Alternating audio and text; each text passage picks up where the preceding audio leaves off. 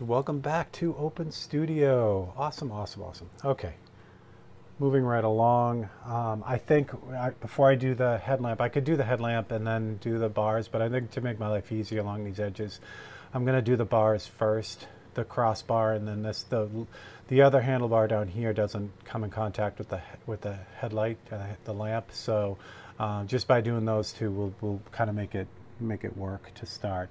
Um, overall, these are kind of a grayish color. They are, they have a nice dark, like, outline around them almost. Um, so I, I want to make sure that's really crisp around the outside edge. So what I think I might do for this is um, cut out a little template. Um, I think that might be the way to go. I could mask it off um, with, you know, a little bit of uh, tape, but I think it's just going to be it's it's going to be more continuous if I kind of do the um, the cutout for it. Meaning um, it'll blend a little bit better. If I have one spot that has like real strong like sharp edges from a from a taped mask, then it's going to stand out, and I don't want that. So I haven't used tape really anywhere else on this painting, so I want to kind of keep that going. All right, so what I want to do is just zoom in just on this part here. Yeah, that'll work. So what I'm going to do is I'm just going to cut out the the darker areas, the gray. Uh, there's the you know the clamp on here that runs across for for whatever is going on over there. Um, I'm not worried about that. Looks like these handlebars are also. Why does it look like this is wrapped? Maybe. Might be a cloth wrap on this for whatever reason, but I'm just going to kind of paint what I see. Um, I'd love to figure it out, but um, sometimes it's just not as possible to do that. It's just better to kind of, if you can figure it out, great. If not, just just paint what it looks like. And I'm doing that. You can't see it. You guys can yell at me if you want. It's totally cool. I love it. So yeah, so this um, this little clamp that holds on. What is that? Oh, it's the it's a rear view mirror. That's the clamp for the mirror. It goes up. So that that is held on by two probably stainless steel clamps, and and those are bright white. So um, or they're real shiny. So I don't need to base those, and I'll do those separate. I just want to really get the actual grip. Uh, do I want to get the bolt? Yeah, yeah, I can do all this. Leaving, again, the nut that holds this, the, the um, clamp that ultimately holds the rear view mirror, the side mirror, um, is, well, actually, no, I can cut it out too. It looks like the bolt is stainless too. It's real shiny. But I'll just, I'll just adjust for it. And actually, you know what I could do here? No, I'll do that too. All right. So for the end of the, the screw that comes through here, the bolt itself. It's darker than the hand, the, the grip behind it, but I'll, I'm going to cut out, I'll do kind of both at, at the same time with this one cutout. I'll show you how I do that in a second. So first I'm going to cut out the stuff that's in the front, that little section right there. And then I'll just run off the page. This is the, um, the bar for that side mirror. So whatever that, you know, hold on. So that's all I need for that.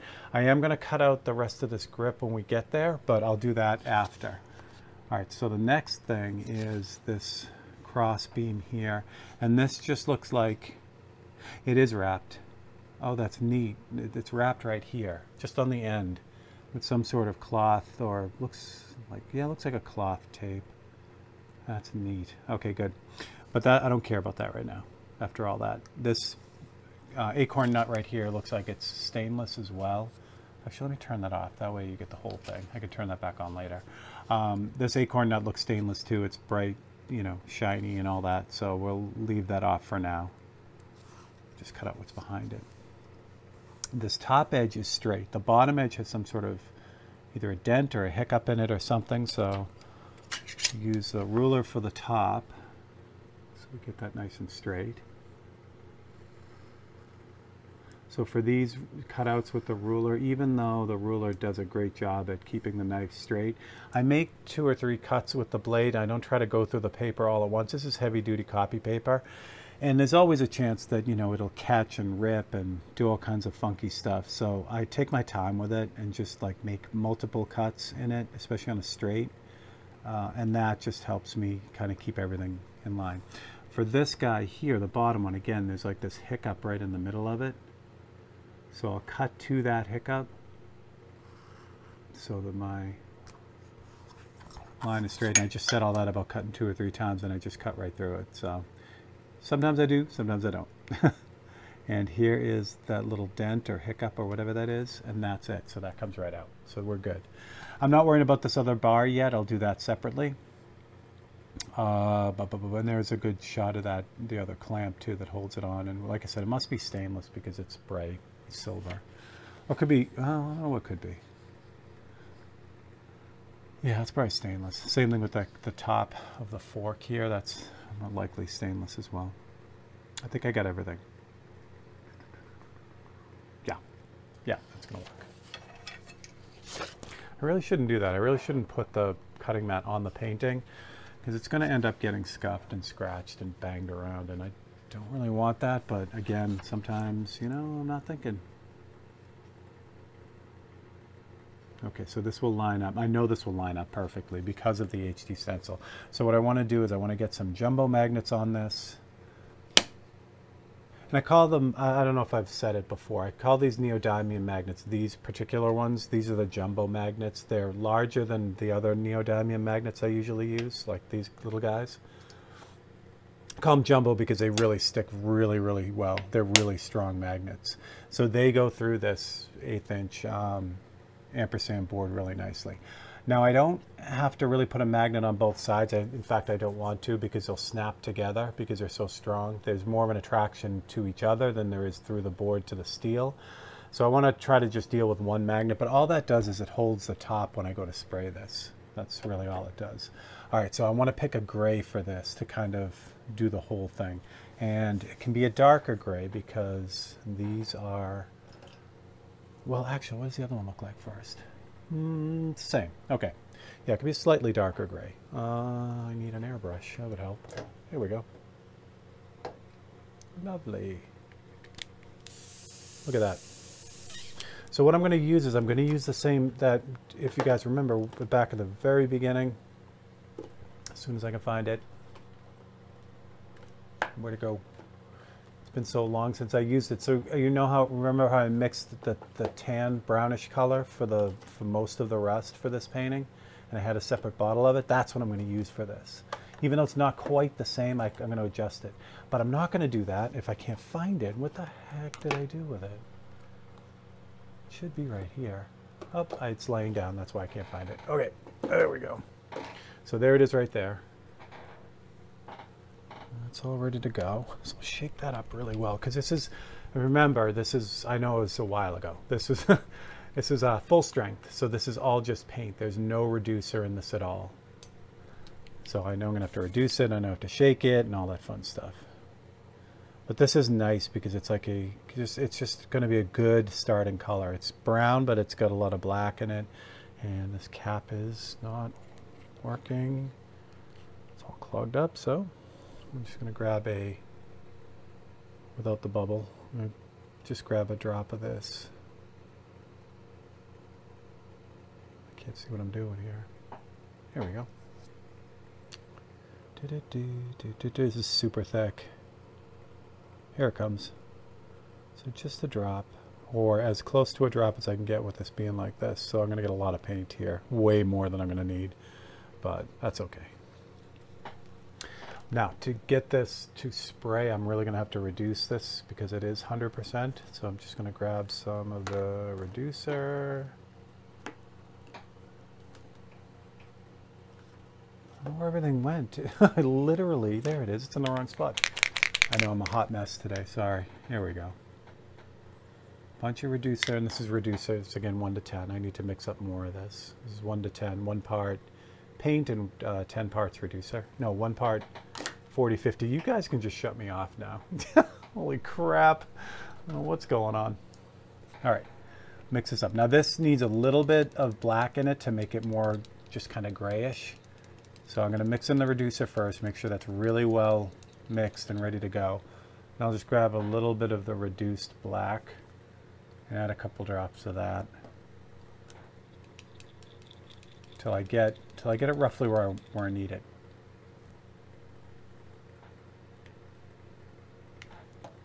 Obviously, it's easier, it's easier to add a few drops of black and then see what it looks like and then keep going because if I put too much black in it, then that just means a lot of extra adjustments. That looks good. I think we'll go with that.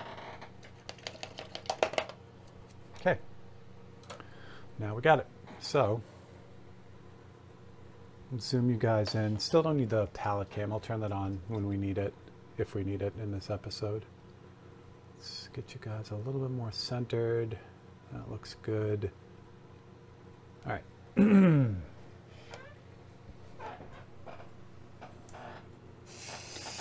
So again, I have the magnet holding down the other side of the template, and I'm going to use my finger to hold down this side. And I'm just going to really, there it is. There's a lot of liquid on there. Let that dry for a second. There we go. Okay. So I'm just going to go over this really lightly. What I want to do is I want to get it to the point, you guys can see it, yeah. I want to get it to the point where I'm, I've shifted it to that gray color, but I can still kind of make out the details of the HD stencil.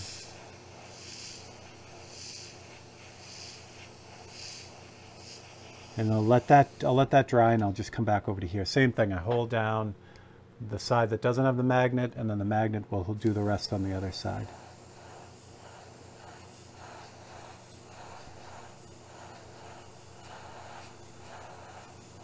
multiple passes again just building it up real slow and that keeps it really clean underneath if I hose this thing down and blast a bunch of paint on there it's going to creep underneath which it might have done here because I did hit it kind of hard um, but as long as I go with lighter passes and let the paint just kind of dry as I go um, everything works out really really well Okay, so without changing that, I'm going to use another brush for the next part. And I'm going to put the highlights on here. And so it goes the base color, highlights, the dark, and then it's pretty much done.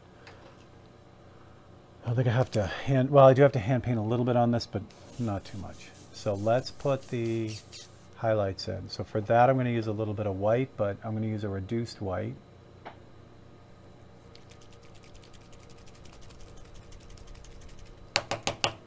There we go.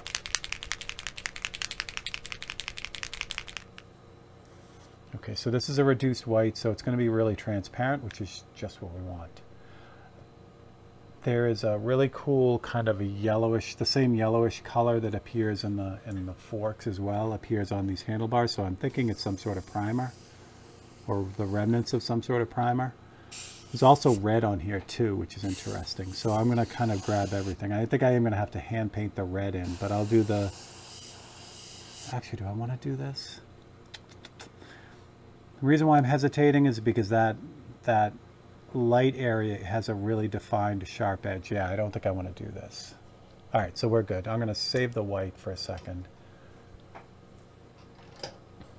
Jump back to this brown color and I'm going to get rid of some of it because there's way too much of it now. All right, so I've got the same remnants of that brown in here. I'm just going to add a bunch of black to it and make that really dark. And I'm also going to thin it out too. So this will be almost black, but it'll have a cast of that brown in it too. I'm definitely going to have to mix up some more of this. So I use this 1 to 10 mix a lot um, and this, this in the one to five mix I use a lot. So it's, again, it's, grab bottle here. Yeah. So it's UVLS Gloss 4050, which is the stuff here. That's the one part for that. And then the 10 part of it is 4011 reducer. So I say it's 1 to 10 mix, but it really isn't because I use a scale a weight, you know, like a little uh, gram scale to, to mix out the paint. The paint has a higher weight than the reducer. So even though it's one part paint to 10 parts reducer, it's really not like a, a, true 1 to 10 mix. But what it does is it gives me a consistent mix every single time. So I care more about the actual ratio than I do about the actual, you know, weight of the of the components. Where if you're doing it is um, like if you're mixing automotive paint, you mix it by parts, and, and you're not doing it by weight. So. All right, so there we go. So now this is going to look really black to everyone in the cup, but it's really not. It's got that brownish to it. So now I'm going to work on the bottom half of this. And then after all this is done, then I can put that strip of worn paint in that's on this bar. The other one doesn't have it. Or maybe it does, but you can't see it. So I'm just going to build up the bottom side of that where the shadow is. Again, just going real slow. I don't want this to bleed out underneath and then the top side of this too. Just add a little bit of, uh, this will add, because it's a cylinder, it's going to add a little bit of shape to it by kind of hitting both the top and bottom edge. And then on the other one, I don't think I can get you any closer. On the other one, it's got all kinds of cool details in it that are just like darker. I can use this color. Do I want to even do this? Because it's going to be annoying. Yeah, I can pull this off now. I don't think I need this anymore. Up here. Sweet. So that missed up there. That's unfortunate. But good. Yeah, there, there's a way to that I can fix that too. So what I need to do, I need to put on the glove so I don't put my hand on this.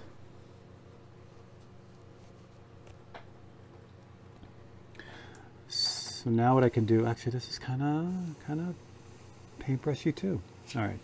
Well, I'll do what I can with this. So I'm going to just kind of add the darker areas on this, the texture from the wrapping. A little bit. I got to put some hand painting on this too. But this will just set things up for me.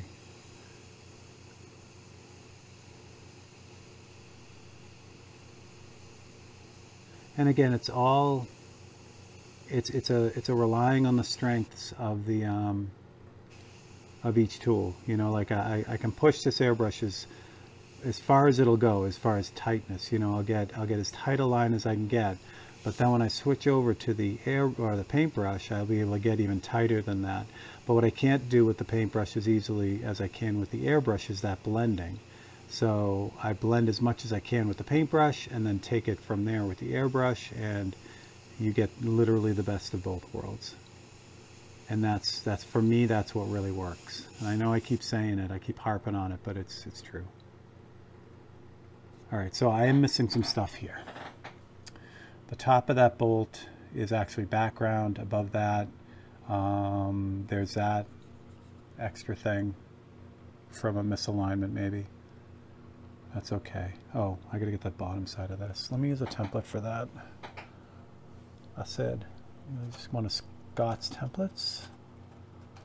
If I can get it out. Here we go.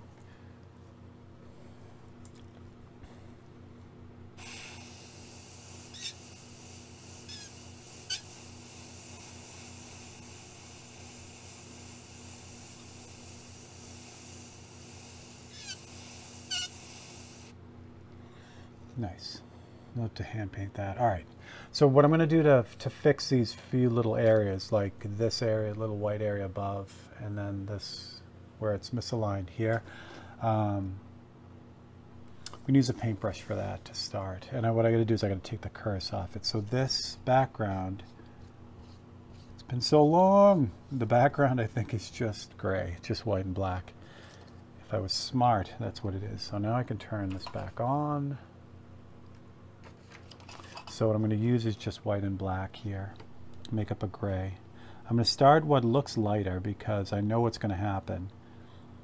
It, it always looks too light on the palette and you move it to the board and it's too dark. So this is definitely too light, but a little bit darker. Again, I say this all the time. What I'm going to do first is I'm just going to take the curse off of this line here. So it's right now, it's the white of the board underneath. So I don't want that. So I'm just going to take the off. I'm not going to try to match the background color to color exactly. That's way too light. Okay, good. I'd rather creep up on it this way than have it be too dark and then have to reverse the whole process. Let's try this.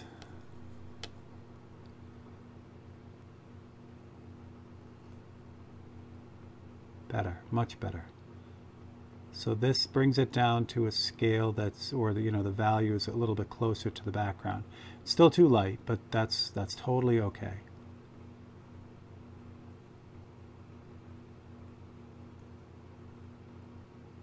Nice, nice, nice, nice. All right, so now I can take it down another step. What I also, well, I'll use this as background. I could do two things here. I could grab the, the, the color of the bar, that brown color, and add that and make the bar a little bit wider. Again, in the end of the day, it's not gonna, someone's not gonna say, you know, your, your cross beam there is a millimeter too thick from what it should be. I mean, some people do do that, especially when I was doing a lot of aviation art. There was a lot of people, I called them rivet counters and um, they would have no problem coming up to you and telling you that you have too many rivets on the side of that plane.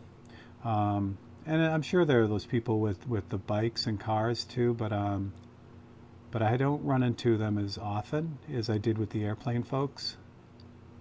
So so again, I could make that bar a little bit thicker, and someone someone who knew would say, "Hey, that's you know too thick," or I could just do it the right way and you know to the background. So what I'm doing is now I'm just adding a teeny bit of teeny wit, a teeny bit of black to this gray color, and I'm going to start to lower this down till it matches.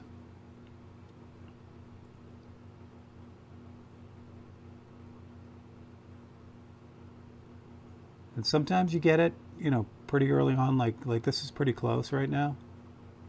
And then sometimes it just it takes a few passes, you know, it takes a few a few shots to get it there. This I know has a little bit extra black, it just mixed in, I saw it. So I'm going to add a little bit more white to this to bring it back. And I got to clean this brush off. But already it's looking, it's looking pretty good. And what I'll do at the end, which you'll see if I, if I remember properly, what I'll do is I'll get the original cutout of this and I'll then I'll lightly respray the background over the entire painting and that will do two things. One, it'll take care of like up in this top corner, you can see the bright edge of the uh, ampersand board where it's worn off. It'll clean up that, but it'll also kind of take the end, end of the repairs and just kind of blend them in. So it's kind of a two for in a way. But I won't do that till the end because I'm, I'm assuming that there's going to be other stuff I'll have to fix in the background along the way. So if I do that now and fix it, then I'll just have to do it again later. So we'll just uh, we'll just go with this. There we go. That is sufficiently blended. So now I'm going to do the same thing. Now that I've got that color and it's really close, now I don't have to really sneak up on this one because I've got it right here. So this whole little block right here needs to be background color. And then this is the handle the, the, the grip right here, so I don't have to do that. But that little square right there, I don't know why I missed it. Probably didn't know what it was, but that is all set now. And then since I have that background color in, in the palette right now, I can quickly run around and check to see if there's anything else that needs to be adjusted, but I think we're looking pretty good there. There's a couple little spots here. There we go. All right, good. Okay, now we can move on. So I need to, um, the last step is I need to add a real like dark edge on, on this, on the crossbar here. So I'm going to do with that is I'm going to grab that copy again, line that up, drop the magnet on that. I can put this one on the bottom this time because um, I'm not painting the top, I'm just painting the bottom clean out the brush. Add a little bit of black. Let's go with uh, this one. So I didn't even wash out the brush. There's still, I emptied all the brown out of it, but I didn't like act actively clean it out. So what I'm going to have is a black, a real nice black, and it'll have just a hint of that, that brown color in there, which is perfect. That's going to work out well. Mix that up real well. There's still brown in the brush, so I gotta flush that out first before I go and use this. So what I'll do is I'll, I'll just back flush it into the brush and that'll mix that brown and the black and everything will be nice. Spread it out. So what I want is this bottom half of this bar to be really, really dark.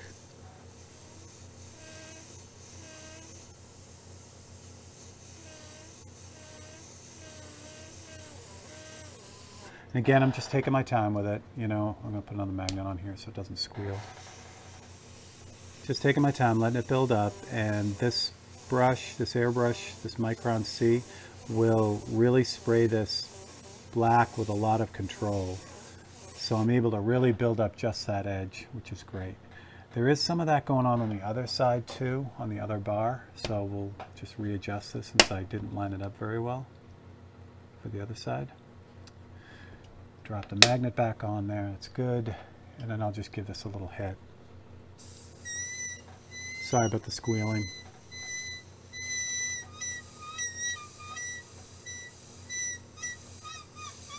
Good. That's good.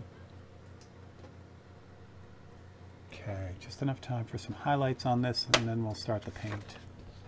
Yeah, lovely. Good, good, good. Yeah, again, you can just see that, you can see the halo of that repair up here. You're not going to see that at all when I'm done.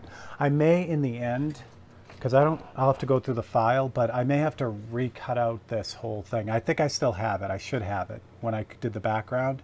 So then that's great. I can just drop it in. But on the off chance that I didn't cut the, this out right, which is why that that misalignment is there, then I would cut this again.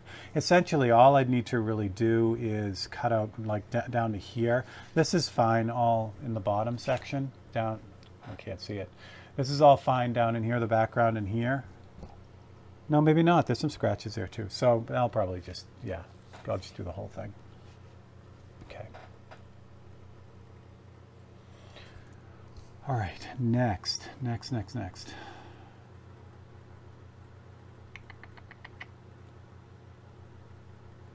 Yeah, let's put that paint in, I think. Because um, that, that's perfect. That's dark, just dark enough. You guys are seeing it at an angle, but if I tilt this, you get the bright color. So it fits in really nice. Okay, I don't think I finished the top of this either. There's a lot to do here, kids. All right, it's fine, it's fine. All right, so I'm gonna start with that yellow. The primer, this primary yellow color. So I need um, yellow oxide for that that over here. And it's a grayed out yellow, so get some of that going. It's probably enough white, Now I'll grab some black. A little bit more yellow, a little bit more white, maybe a little bit of orange. That's good. Yeah, this is all like right along here. It's all just damaged paint. So I'm just going to kind of move that along. It doesn't have enough white in it. And the reason why I know that is because it's too transparent. So I'm going to have to do this again. So add the white first. This will give it a little bit more body. If it has mostly yellow in it, then the yellow is really, really transparent. So that's not going to cover and it's just not going to do what I need it to do. So just repeat the process. A little bit of black in there to deaden it and a touch of red oxide. That should be better. So now when I paint this on here, it should stand up on there. Yeah, there it is. And I just want to keep it rough. So it's like the worn bit of paint. This is still pretty transparent, but it'll definitely work. Because the middle of this has like a reddish color in it too. So I may have to go over this a couple times, but it's going to work.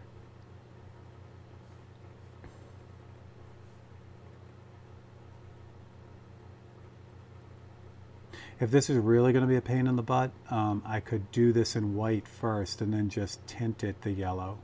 But um, I was kind of hoping I was going to be able to get away with this, with doing it in one shot. And I think I am.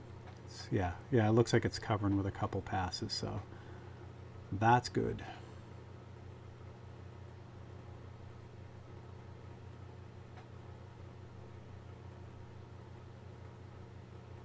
Yeah, that's lovely. Good. Okay, so we're going to leave it there for this week. And then when we pick it up next week, we're going to finish up that, that yellow, put the rust colored red in it, and um, just keep rolling with this. All right, so for Steve Leahy and Tech, ah, I do that all the time, and I can't edit it out of this one. anyway, for Steve Leahy and Open Studio, thanks for dropping by. Um, please hit the like button if you enjoyed it. Um, and don't forget to grab that subscribe button and also the bell icon, and you will get all the updates. All right, so I'll catch you guys and girls on the next one. Thanks a lot.